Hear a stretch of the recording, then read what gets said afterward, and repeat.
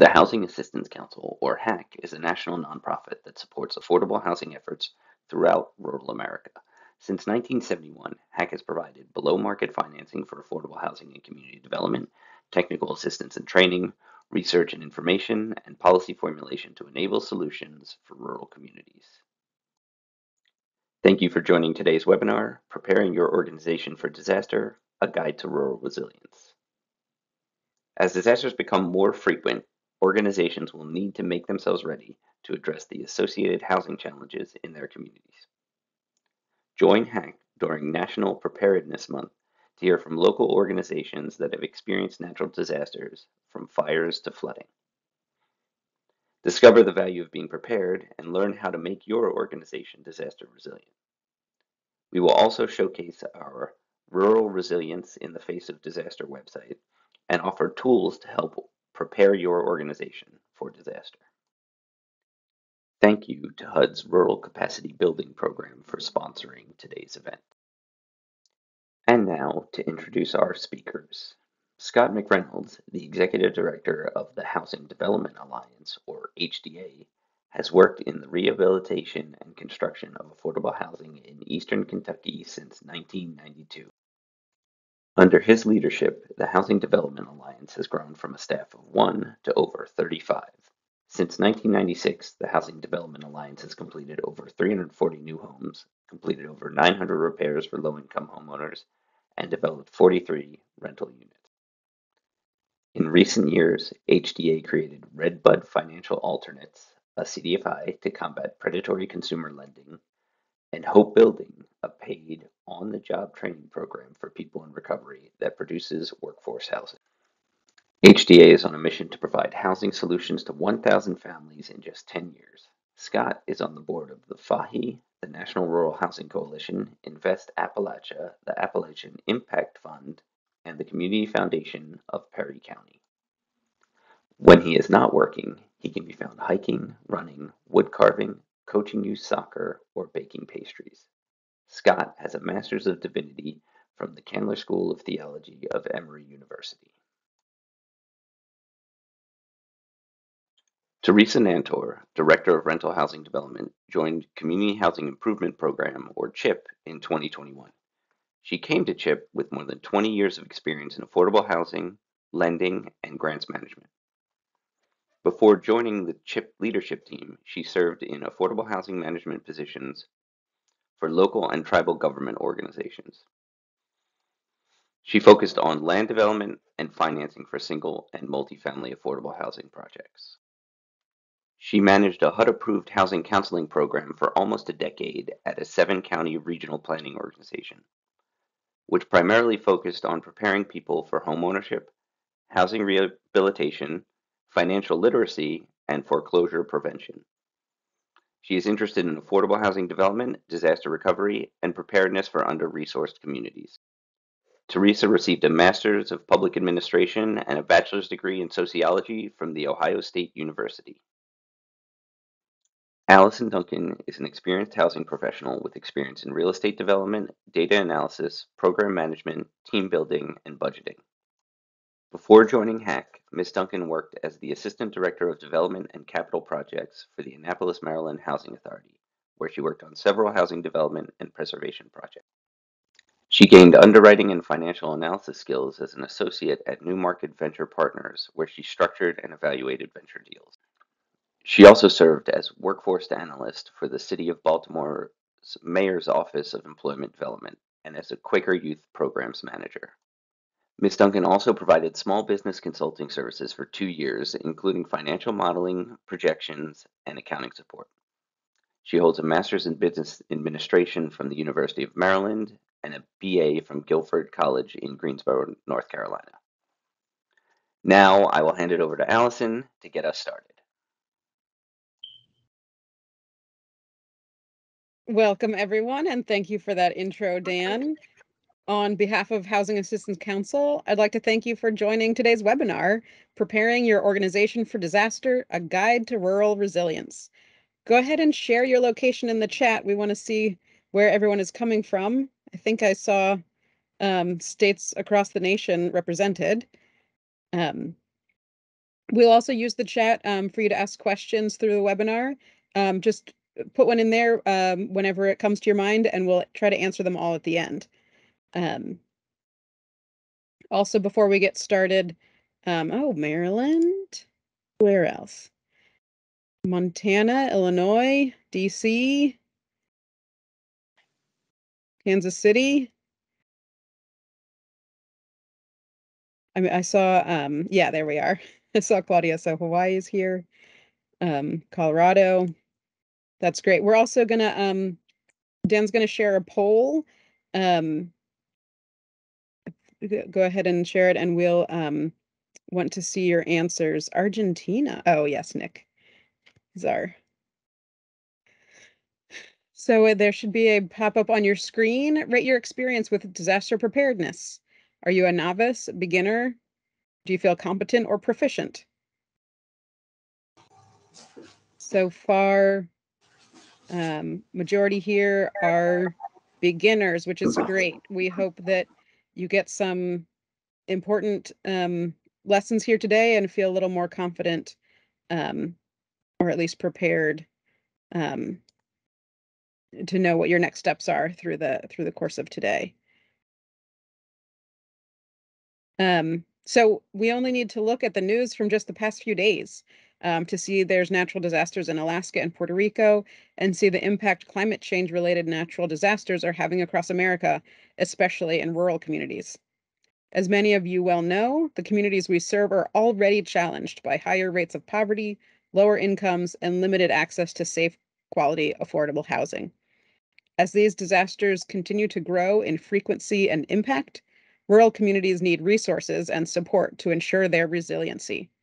At the Housing Assistance Council, our job is to empower communities to build safe, quality, affordable homes by providing below market financing, technical assistance, training, and information services. We also provide communities with the resources to prepare for, respond to, and recover from natural disasters. Our website provides location specific information and resources that you can use when responding to disasters. Our new platform, Rural Resilience, offers tools to help prepare your organization for disaster. You'll learn more about that later in this webinar.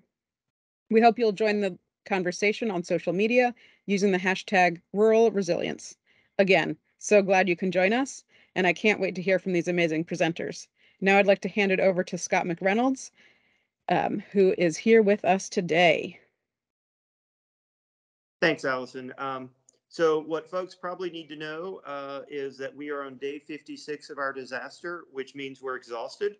Um, I'm exhausted, so if uh, bear with me if I'm not completely coherent. Um, the um, the other thing is that I have a somewhat, um, I think, incomplete view of what it's like um, to, to go through a disaster like this. Uh, but hopefully, being in the, you know, right in the thick of it um, gives me some insight into you know kind of what I wish we had prepared. Um, hopefully the slides are working. My screen's a little wonky, uh, but hopefully. Um, so the first one, sorry, um, is just a little bit of context of who we are and what we do. We we normally we build houses, repair houses, and and do a little bit of rental. We work in um, southeast Kentucky, down there in the corner. At, it's the heart of the Appalachian coal fields. We're in um, ARC distress communities. Um, and so when we left the office on the 27th of July, we had a housing crisis already. Um, about 40% of our population is inadequately housed, um, including homeless, doubled up, living in severely substandard housing, overcrowded, cost burden. We already had 100 plus families on our new home waiting list and 100 plus families on our uh, rehab waiting list. Um, and then, you know, on July, the evening of the July 27th and the day of July 28th, it started raining and it didn't stop. Um, it rained for about nine hours. We had somewhere between 10 and 12 inches of rain um, fall in that nine hours. Um, what that meant, I mean, that's not a good thing if you live in a, in a flat land, uh, but we live in the mountains and, and our particular topography tends to be very narrow uh, valleys. And so this is, um, I tried to capture an image. Um, this is actually one of the, the creeks that was really flooded and you can see these narrow valleys between these steep hillsides. So when you get 10 inches of rain, it runs downhill to the creek and then it runs down to the creek. Um, and so what that means, um, the little dots on there are houses. You can see the valley is very narrow. And these creeks that are normally six inches and a couple of steps uh, wide became 25 and 30 foot deep, raging torrents of water. Um, and it just really washed away everything in its path. And so just a few images of, of houses that got pushed off their foundations, houses that got washed off their foundations, houses who had their foundations washed out from under them. Um, the the creeks flow into the rivers, and so then the rivers flooded. Um, we did get the backup. You can see the trailer picture there of just the very deep water around the rivers. Uh, it washed out our roads, our sewers, our water lines, bridges. Um, just did a tremendous amount of, of damage. Um, and of course, we all of this is about not just the housing, but the people involved. Um, so Dan, if you can stop the slide, that's all the slides I have. Um, so a few facts about the, the, the, our event. We had 40 uh, fatalities and two people are still missing. Um, one of our partners estimates or had 700 and 1,750 families self-report that their house was a total loss. Um, myself and a couple of the other housing advocates thinks that's going to be a low figure when this is said and done. That um, we had over uh, 10,500 families file for FEMA assistance because their housing was damaged. FEMA actually has verified 6,744 houses that had at least one inch of water inside the house. Um, so it, and, and it actually works out to in the four hardest to hit counties, and we serve three of them, um, that one in six houses had water in it. Um, so the it's the scope of the problem um, is, is pretty amazing. Um, despite that, uh, we were actually the Housing Development Alliance was actually incredibly lucky. The only assets we lost directly was a, a one work van with tools and an HVAC unit on a rental system, a rental unit. Um, out of our 30 plus staff, only two had significant impacts um, and, and, and their houses and, and um, of, of the 340 houses we built, we only lost one, um, although three or four uh, did get water in them. Um, so all in all, that we were very lucky, and and in some ways that was um, made in a lot of ways that makes our response a lot easier. Um, we you know had we been directly impacted, had our offices been flooded like some other nonprofits, we would have been had a really uh, a much more difficult time responding. Um, so we woke up, you know, Thursday morning. Actually, most of us had been up all night because we knew something was going on and it was big. Uh, to this reality of this huge flood, um, I was actually stranded at my house. Um, my driveway was washed out and wasn't passable. I didn't have electricity or internet or um, uh, so I was relying on spotty cell service. Uh, had it, had I been able to get off the mountain, uh, I live in a little community called Krypton, Kentucky, and there was no way in and out. There's only three roads in and out, and two of those were destroyed, and one one's not even been repaired yet, and one was flooded. Um, and so I think that's my first lesson to learn as you begin to plan for disaster and as you complete the, the document that HAC is um, going to share with you, you need to be uh, prepared for the reality that some key staff members may be isolated and may not be fully capable of, of performing what they normally would um, and, it, and it's entirely possible some of them may be incapacitated. Um, so as you think about your disaster preparedness, it's important to think about, well, what would we do if this person uh, wasn't available um, or this person wasn't? The second thing that really ties into is, is being prepared for communication in difficult times. Um, we found during those initial phases that text was the most reliable. Um, but of course, uh, you know, we had key, I had key staff members, but I didn't have all 30 staff members' uh, text number in my phone. And so uh, checking up on people even was difficult. So to, to have that kind of disaster preparedness communication plan is, is I think, critical. So while I was shoveling the mud trying to get my driveway uh, passable, um, my management team really stepped up and, and actually uh, had us doing relief work day one. We had several of our trucks out delivering supplies and water to where they needed to go. Uh, day two, my management team was already negotiating the county with some county to do some FEMA contracting um, for some uh, critical services that we had the capacity to provide to the county.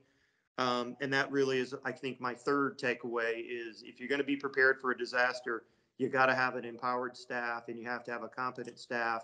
Um, you know, everything can't run through the director because the director might not be available. Um, so again, one thing that shoveling mud will give you a lot of time to do is think. Um, so it didn't take me long as I thought about what was going on um, to realize that we weren't going to be able to do what we normally do for several days. Um, I mean, there was no power, the bridges were out, the roads were out, there was no water at sites. Uh, we were supposed to pour a footer the next day, and you know I, the concrete plant's not operating. Um, so we were clearly going to have some business um, continuity issues and challenges. Um, and, and so we st- I started thinking about that. Um, but actually, by the end of the second or third day, it was clear that this disaster was so big that we were going to have to respond in a way that we've never responded to disasters before. We've had some minor flooding, some minor windstorm damage, ice storm damage, that sort of thing um, in the years that I've worked there. And we've always taken the, the um, kind of position that we're not really good at, recover, at relief efforts um, and that we were going to be there for recovery. Um, it was really clear that this event was so big um, that we had to be involved directly in the relief efforts uh, and not just wait around for the recovery. Um, you know, the community needed us to use our skills and our experience and our staff and our equipment and our trucks and everything to, to, to get involved in the relief work. And two things I realized shortly thereafter. One was I didn't have any money to pay for that. Um, you know, I had lots of money to build houses and repair houses. I didn't have money to muck out houses. I didn't have money um, to drive a truck around and deliver water. Um, the other reality is about 70% of our operating funding comes from the construction activities that we weren't going to be doing because we were busy doing relief efforts. Um, and so this is another example of uh, business continuity challenges. But this one's a little different because we were voluntarily for go. I mean, we after about a week, we probably could have gone back to building and repairing houses, um, but we we were choosing not to. And so again, as you make your plan, think not only about how a disaster might prevent you from doing uh, what you want to do, but also think about how you may choose not to do what you normally do in order to respond to that disaster uh, because for us that was a much larger business disruption than than what the disaster itself caused. Um, so we we got on the phone to some of our donors and funders, and we were really fortunate to get an early win. We got a grant of seventy-five thousand uh, dollars, or actually a donation of seventy-five thousand dollars that allowed us to really jump in. And then the fact that we were doing that work and we were fully committed to it um, led to a lot of other donors and, and funders coming through. And so we were actually able to raise about three to four months of operating money to allow us to really focus on flood relief. Um, and so, you know, I think disasters are one big stress test. Um, and that means that, um, you know, it shows you what you're good at and what you're not good at. And so we, um, you know, obviously we had good relationships with funders. That was something that we figured out. We had a strong staff. Um, we had some weaknesses around technology. Um, I had to have my computer like dealt with, uh, re-upgraded uh, during this like day four of the disaster, and I was just absolutely terrified that I was going to be completely shut off while that was happening. Um, so you know, as you do go through your plan, um, think about what you're good at, what you're not good at, what your strengths and your weaknesses, and be honest.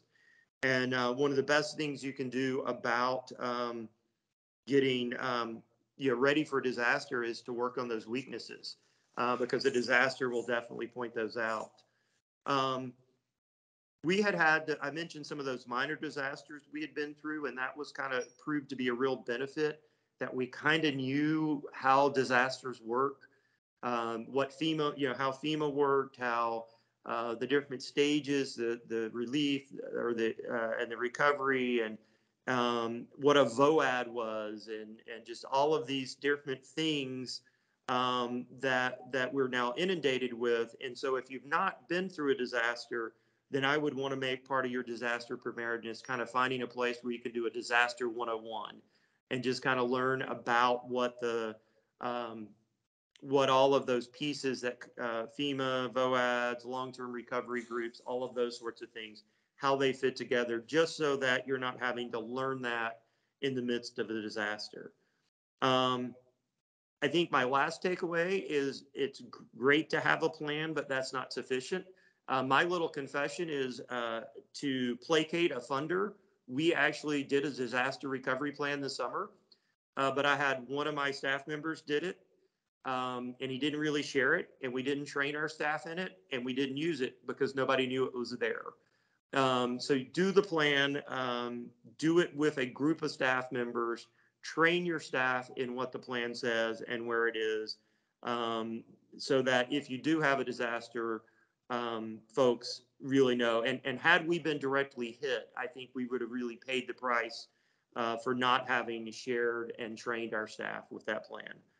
Uh, I said that's my last one, but I actually, to add one more, um, when you do your plan, and I'm not sure this is part of the template or not, uh, but be thinking about how you're going to take care of your staff during a disaster um, because they're going to work incredibly hard long hours, do things that aren't fun, do things that aren't their normal job.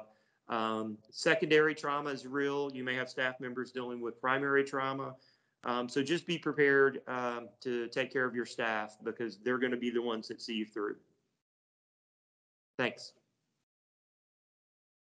Wow. Hearing from someone who's in the middle of it is um, pretty um, just inspiring and motivating to um, work on plans and follow all your advice. Our next speaker is Teresa, um, and her disaster happened a little further ago, but is nonetheless still very impactful. Um, and here she is.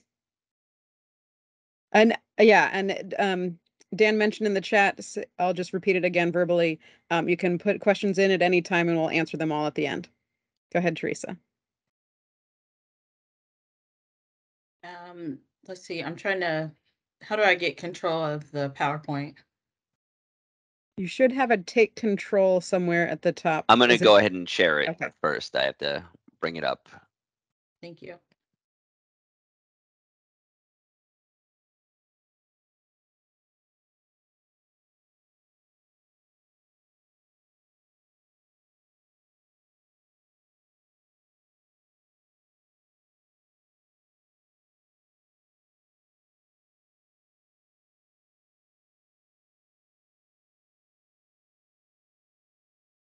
You should be able to control it with the arrows at the bottom of the screen. And once you do that, your arrow keys on your keyboard should work, but yeah. Either way, either of those options works. Thank you. Thanks, Daniel. My name is Teresa Nantor. I'm the Director of Rental Housing Development at Community Housing Improvement Program. Um, and our acronym is CHIP. We um, were established in 1973. Um, we're, we'll be celebrating our 50 year anniversary next year. Um, we're a nonprofit organization, a 501c3. Uh, we operate in the Northern California region. Uh, we cover seven counties. Um, we cover a seven county region. We have um, our, are several departments within our organization. We've got our self-help program, our multifamily development program, and property management as well. Uh, we assist low-income, rural, disadvantaged residents, seniors, and others who lack resources um, with providing adequate and safe, affordable housing. CHIP owns and operates 18 properties with over 750 units, and we're still growing. Um, today, I'm here to talk about um, the lessons learned from um, responding to a disaster. Um, but I just want to give you um, a some context on how we got here and and what prompted us to be prepared. Um, there were multiple disasters that happened prior to the largest uh, fire that we had, which was the Camp Fire. The first one was the Oroville Dam spill that collapsed, and that prompted our staff to begin thinking along the lines of how do we prepare to respond to a disaster, not just on an organization level, but also for our properties as well. And as you can see from 17, 18, 2022, and 2021, there have been a series of disasters in Northern California um, that has tested the strength of our organization and um, our staff and, and our residents as well. Um, and that prompted us to start beginning to think along the lines of how do we prepare um, prepare for a disaster. And some of the steps that we've taken uh, to do that is to know what our risks are and start preparing for that. So it's thinking along the lines of insurance, um, you know, evaluating our insurance on our properties, on our building for our office, um, and determining is it sufficient enough to rebuild? Um, what are the exemptions to coverage? Um, and if we do rebuild, um, how would we afford to rebuild? Um, is that you know if, if a property burns down, um, is that somewhere we want to rebuild? Evaluating the geographic area as well. We talked about understanding insurance coverage, um, and we also encourage our um, our staff as well uh, to evaluate their insurance coverage on their properties, um, as well as our residents as well, um, encouraging them to get uh, apartment insurance as well you want to build your team, you know, assemble your team um, and assign roles and tasks for individuals to respond to the disaster. Um, what one thing we did do, and the previous speakers talked about, was um, establish a text now system. As he he talked about, texting was the most valuable way um, that he had to respond. So we have a, a agency wide text now system. We also have a text now system for our residents as well, um, so we can notify our residents as things um, change in the environment um, because you know every year fire season comes around and there's risk of fire and now also we recently had some rain so now we have flood as well unfortunately. Um, so just staying in communication having that basic line of communication um, you know just realizing that everyone won't have access to internet service but text now is a reliable service um, again, we talked about assigning roles on our team. Um, so, you know, our HR department played a critical role, also our property management staff as well. Um, but as the gentleman spoke before, no one person can be the, the sole center of, um, you know, uh, headquarters. You've got to have multiple people on your team who are able to carry out tasks in a disaster. Um, when we talk along the lines about our properties, we also looked at, uh, spoke with our lenders on what some of their requirements were if a disaster happened, um, as far as rebuilding and safety measures.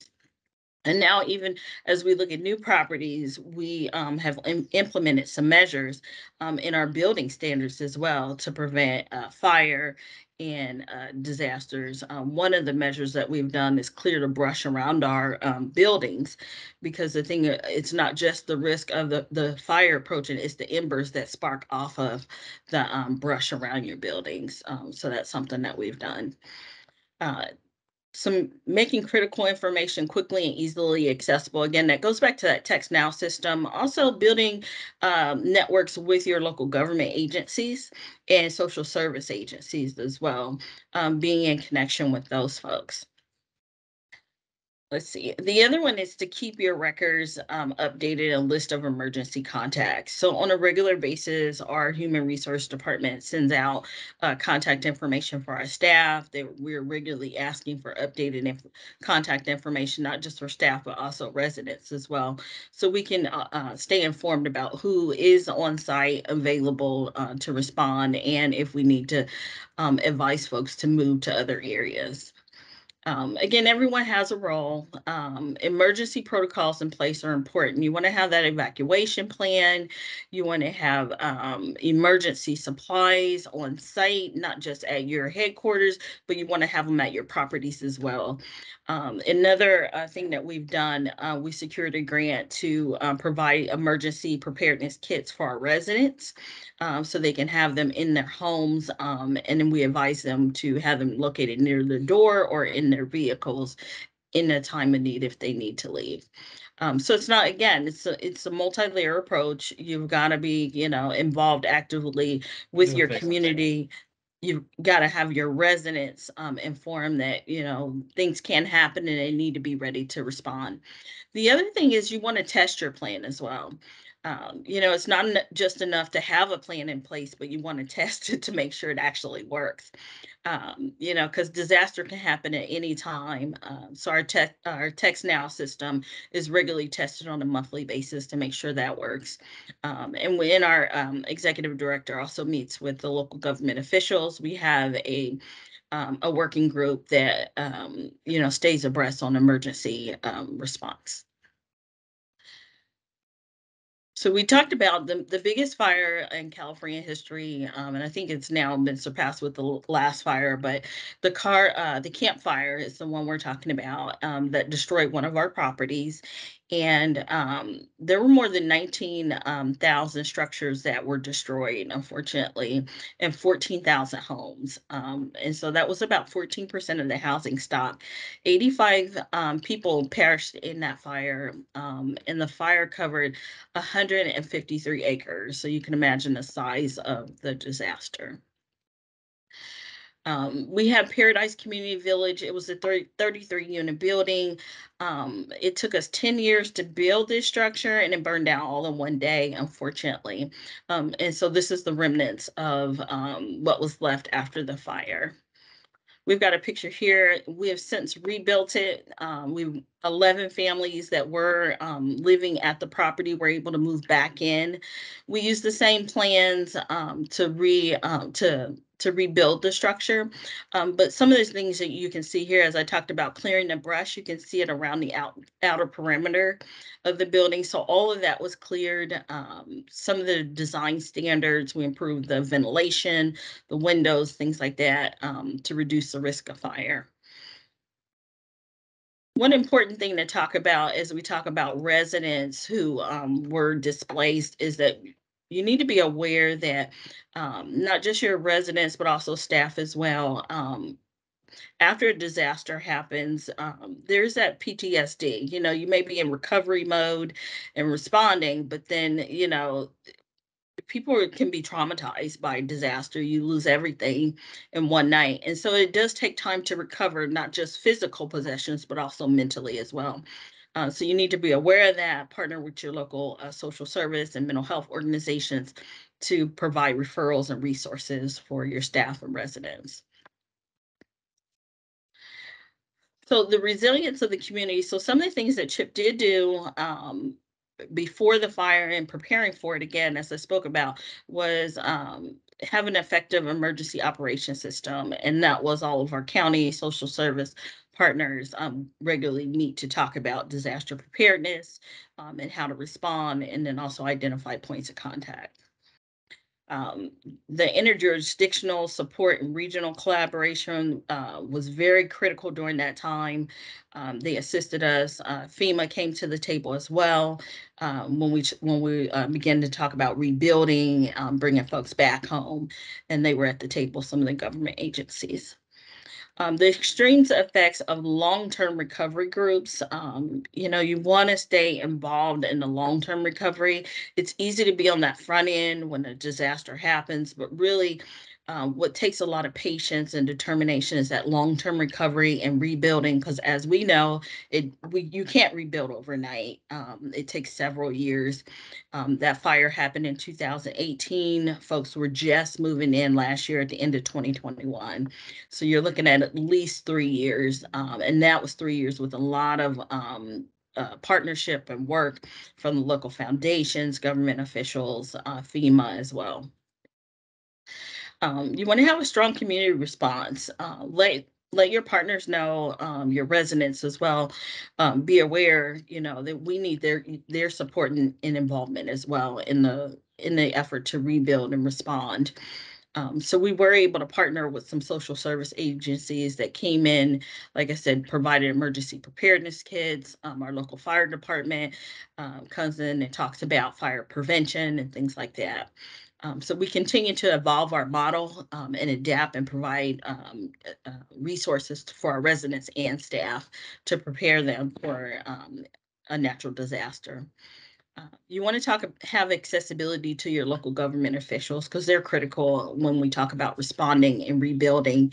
Um, you know, to have that line of communication, whether it's your executive director or directors on your staff, to have a point of contact, particularly when you're talking about small rural areas, having those partnerships and accessibility um, to your local government officials because they'll be able to tap into resources very quickly. Um, your state and federal resources will uh, come to the table, but they're usually not, uh, you know, readily available at the dime. It takes time to get them to the table um, to start talking about funding and capacity to rebuild. So just be aware that nothing happens overnight. It takes time for folks to respond and get there. Um, but if you have those strong networks in place from the beginning, then you're in line as resources come available. You want to focus on preparedness also, uh, creating a defensible space, as we talked about, resilience and building materials. Um, as we looked at the Dixie Fire and the Camp Fire, um, and as fires continue, uh, uh, you know, here in California and across the nation. So again, it's it's that prepare, um, I'm sorry, prevention, prepare, and you want to respond adequately. Um, that's all for my PowerPoint presentation. And uh, Daniel will take down the slides. It'll take a few seconds for it to load. Thank you so much, Teresa, for sharing. Um, it's so wonderful to get a perspective, um, someone a little further along down the road, um, have having experienced this. And you know, just different disasters happen in different parts of the country from flooding to to fires. I'm going to take a moment to um, share the um, HAC's new part of their webs of our website. It's called the R Rural Resilience, and it's under the Our Work tab, Rural Resilience in the Face of Disaster. Um, some of your questions that I've already seen come through in the chat um, may be answered here. Um, disasters in general, which um, the presenters have referred to there being three phases. First, readiness, which um, I think attendees are mostly in the preparation phase. The immediate response, um, Scott talked about, you know, bringing water to people and things like that, and then recovery, long-term years of um, rebuilding. So with those three phases, there's there's three pages additionally that we'll go further into that in a moment. Just wanted to keep showing the homepage. There's some news and updates um, just as different um, policies come through or disasters. Um, you'll be able to see them here. This is a really neat um, tool. Uh, every county in the US and um, what is the uh, risk of disaster rating. So you can hover over any given county. Here we are, Ocean County, New Jersey. 45.5 risk index, um, which anything to 30 is high. So you'll see the coastal areas are darker um, with, you know, flood chances and and fire um, opportunities, but some um, sprinkled in as well. Um, go ahead and look at the readiness um, portion. Within readiness, there's four subcategories. Plan readiness as a definition, planning resources, strategies, and information building your network. I'm also going to take just this moment to show that there's a new um, accessibility feature on HAC's website in general. I had the seizure safe mode on um, because there was some a video on the first page that doesn't share well. Um, but now that that's off, I can put on, there's a reading bar um, that might be, is it, um, let's see. Well, oh, went too far. Um, it's here. There we go. That can help with reading large blocks of text. So if you were um, reading this readiness section, you could just highlight over what you were reading and be able to see it better. So lots of options in the accessibility um, toolbar. So after the definition of readiness, there are planning resources. HAC has um, collated planning resources from a number of different um, partners, enterprise, community um, partners, um, disaster justice network, um, a, a, long list you'll see here. Um, that's one part of preparation. Here's the strategies. you can another resource from Ruralisk. You can assess your organization to determine um, where you would uh, how you could respond to a disaster, um, other um, financial preparation from the small small business um, association, and protecting your data, and then building your network. We heard um, Scott mention VOAD. There are voluntary organizations active in disaster. There any um, nonprofit organization that you know, like the Red Cross or another group would be distributing water and doing the other like actual um, reaction um, to the to the disaster um, assistance and help you team up with any other groups that might be doing that or be prepared to contact them for support as you need it. Um, that is the readiness section and the four um, categories within that. Within the response section, we'll load that. There's three response, emergency release, re relief resources, and disaster updates. So the response, again, there's a discussion and definition of what response is.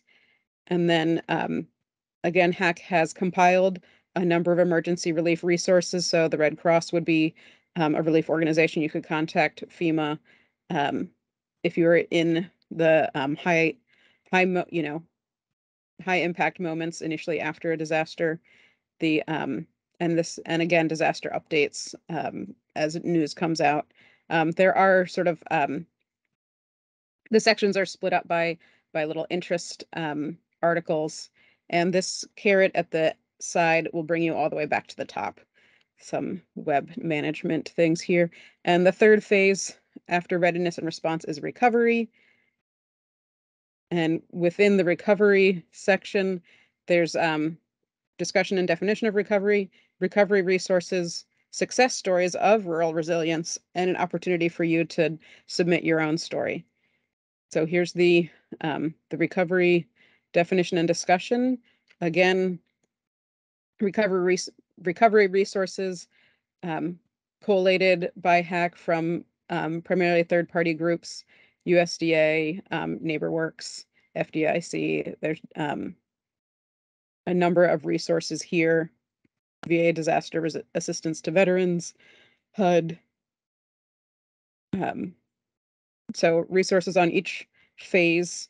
Um, a few success stories. Um, one in California, another in Texas. How organizations were able to respond to disasters, and um, there's an opportunity here. You can click the link, and you can submit, um, you know, your your story, or at least the beginning of it, so that um, HAC can contact you and find out more details.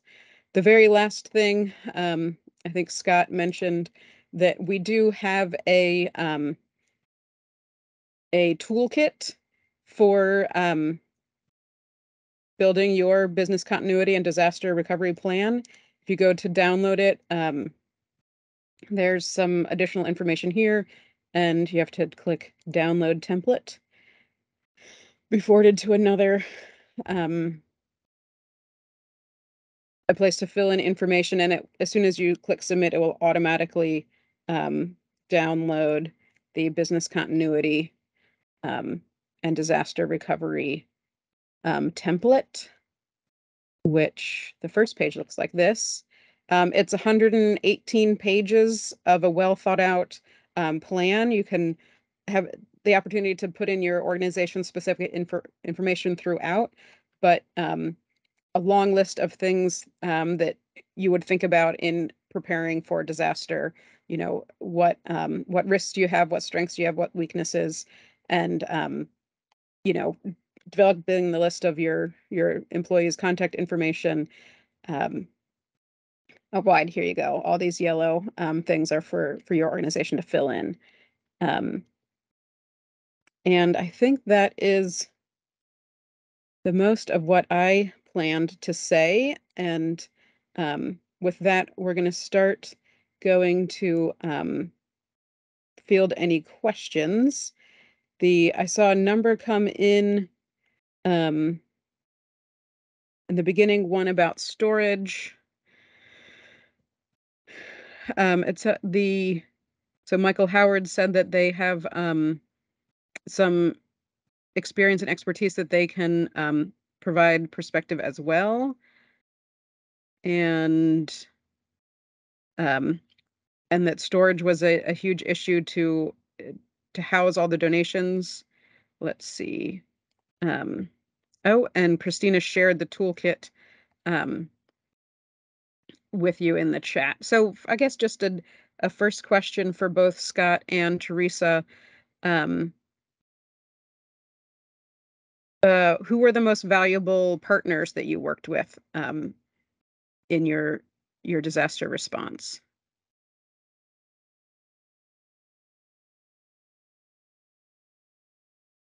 And you're both muted. Yeah, we're both waiting for the other one to go first. Uh, so, wow, that's a great question. Um, Teresa mentioned local governments, and I think that's huge. Um, we served three counties, and and we had probably uh, uh, great relationships with local governments in one, and and pretty good in another, and just don't know the third as well. And um, it's been harder for us to get traction. Obviously, in the county we don't know. Um, I think your other groups that are going to be responding, your your your peers, your um, the other nonprofits that are going to be there, um, have been in critical. Um, I think those are probably for us have been the most important. Those two two two groups. Yeah, I'll say our local government for sure um, was the most helpful, but also um, we have a local foundation as well um, who stepped in, provided resources um, for the disaster preparedness kit, also to respond on, um, you know, for folks who lost their housing. Um, they uh, have additionally been assisting us in rebuilding as well and hiring staff uh, to rebuild in the area. Uh, so our local foundation again was uh, critical um, in this in this process. How familiar were you with the disaster recovery infrastructure prior to this work, and how and how did you become familiar with it? You want to go ahead, Scott, since you're in the midst of it. Yeah, so like I said, for us, having been through some minor ones previously, um, we were pretty familiar. Um, and so that helped um, a lot. Um, and, and so I do think as you prepare for how you might respond to disaster, to, to get that familiarity, uh, you know, to know your state, Kentucky, or your state emergency management folks a little bit, to have talked to them uh, is, is probably pretty good idea. Um, you don't want to know them as well as we know them today, but to know a little bit about them um, beforehand is, is, is real useful and the process and just, you know, the flow, the, the, the sorts of resources that are going to be available. Uh, you know, Michael men- mentioned storage. If you have a major disaster, it's unbelievable the um, the response that the VOAD groups, the volunteer organizations can connect you with and the amount of materials and supplies and all that you can get donated. Um, and, and so, yeah, to be, be prepared for that, I think is important. And for for our agency, um, we um, we were novices. Obviously, we had a plan in place, but you never know how your plan's going to roll out until you actually have when you're in a crisis. Um, so we were novice, um, but we did have a strong communication system in place, and we felt like you know the lines of communication did remain open with folks on the ground, our staff, um, property management staff, um, and our local government. Um, we had a direct line to them as well. Um, in the rebuilding efforts, FEMA stepped in, was very helpful um, through that process. Um, the state as well with the tax credits, because our property was the first tax credit property that burned down. Um, and so they were very helpful in, in um, providing resources to get our project up and going very quickly and get it through the process. Lance typed a question in the chat. Did you take any risks and spend money when you were not sure if you would be reimbursed by FEMA or other entities? Oh, there's always risk up front and you have to spend money, you know, you've got to clear that. Once it burns down, people forget about, you've got to spend money to clear, clear to burn trees and the buildings. Um, so you'll spend money up front, you know, to get things cleared up. And, and when you start that process, you think, okay, this is step one, but that's one of many that'll come along the lines and you've got to have a lot of patience through that. Um, so you're always spending money, you know, you've got that pre-development, even if there wasn't a disaster, but with a disaster, you know, they, they want the, the site to be cleaned up very quickly and, and to start moving to the recovery phase. So of course, you're, you know, obviously you're spending money. Um, and you also have to spend money to invest in your infrastructure to be prepared to respond to a disaster, um, to develop those systems and plans. Um, and we did receive a grant to um, develop that emergency response system, um, and we, we continue to build upon that. And it's always, you know, you always have to go back to that and evaluate it. You know, it's not something that you, you develop one time and you you put it on the shelf and, and collect dust until disaster happens. It needs to be in your regular rotation uh, whether it be quarterly, uh, you know, twice a year or something that you're constantly evaluating as things change. Yeah, we absolutely did. Um, we, we knew, uh, we were really fortunate that we did get that, you know, we kind of jumped in and trusted that some money was going to come. And, and we got that initial grant, uh, or donation, and then we just kind of assumed more money would come and it did. Um, I mean, you have to be realistic. I mean, we had, we have, uh, some resources, um, that we knew we could spend and we were hoping we would get them covered and wouldn't have to spend them on that, but you do what you have to do and hope. But at the same time, I mean, it, um, you can't, if you don't have cash, um, you're gonna, even if the money's coming, if you don't have the cash to pay your staff, um, or to, you know, whatever the expense is, then, then that's bad. Um, so you do have to be realistic. We got another question here from Michael Howard. Did you have long-term recovery groups already set up, or did you have to start one? And if you had one, was it dormant or was it something that was well-known and ready to go when needed?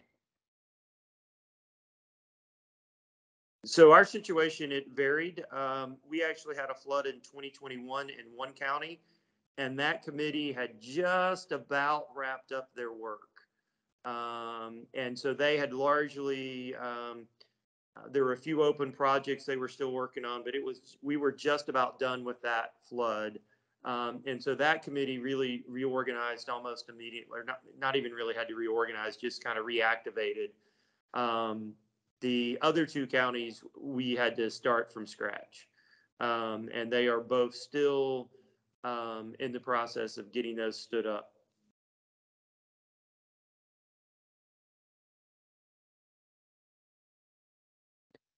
We did have some systems in place, um, but it wasn't necessarily developed, uh, dedicated to the long-term recovery. It was more of a, just an initial response, um, working group. Um, and so as you move into long-term recovery, then you have to identify additional partners at your state and uh, federal level. And you both mentioned um, mental health or, you know, primary and secondary trauma as um, key pieces to think about. And I don't think that's yet included in any of our resources. So would you um, share a little more, expand on that, or mention if there's any places people could um, go to have have those things set up in advance? Yeah, what were good resources you you connected with? So some of the resources that we connected with was our local county behavioral health um, organization um, and um, our local um, um, university extension program.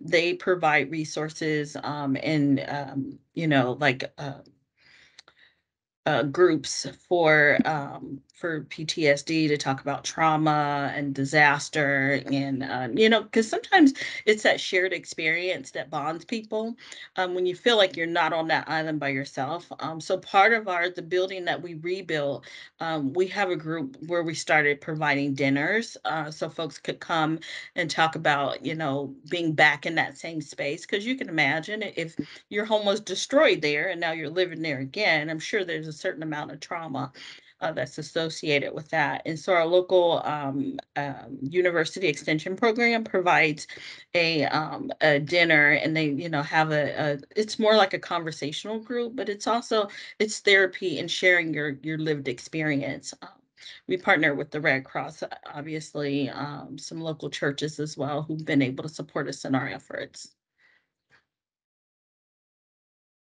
I think it, it may be a VOAD group, but I know we um, had an offer for um, support services that that first that not first responders, but uh, people who are um, helping people in in a, in the disaster could actually reach out for support uh, for themselves. That you know we shared, of course, with our staff. I'll try to get that, find out who that was. They may be, I don't know if they were a local organization or national, um, but if it's anything that might help other folks, we'll share that.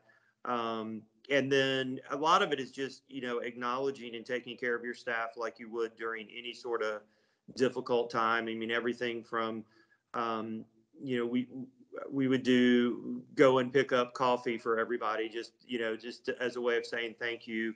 Um, probably the most health you know kind of mental health related thing we did is we we made the decision not to uh, participate over volu- over Labor Day weekend in what we was an influx of volunteers um, because our staff needed to have a three day weekend. We actually gave everybody an extra day and split up. Um, half the staff worked Friday and half the staff worked Tuesday. So everybody could actually get a four day weekend um, just to, to decompress a little bit. That's great. So we have just a couple minutes left. If there's anyone else who wants to um, ask a question or make a comment, you can unmute yourself and um, and say it verbally. Um, or if, um, you know, I can read out another question from the chat if you prefer that um, mechanism. Allison, I had one thing I just throw out real quick. Um, I we by dumb luck happened to have a shower um, in one of our buildings. It's, we didn't plan it; it just was there when we got it, and it was amazing. Uh, you know, our particular disaster uh, impacted water um, and, and a lot of the county. And so just to have that available for your staff, hmm. um. I wish uh, we're going to add a washer dryer hookup to that facility. So next time we have one. Um, so those are sorts of things that I wouldn't have thought about, but uh, some of those just simple. Um, you know, we had guys, we had folks mucking out houses, and just to let them have going home to no water, to let them have a shower was was a big thing. Yeah, wouldn't have thought of that. And any other pro tips? That's the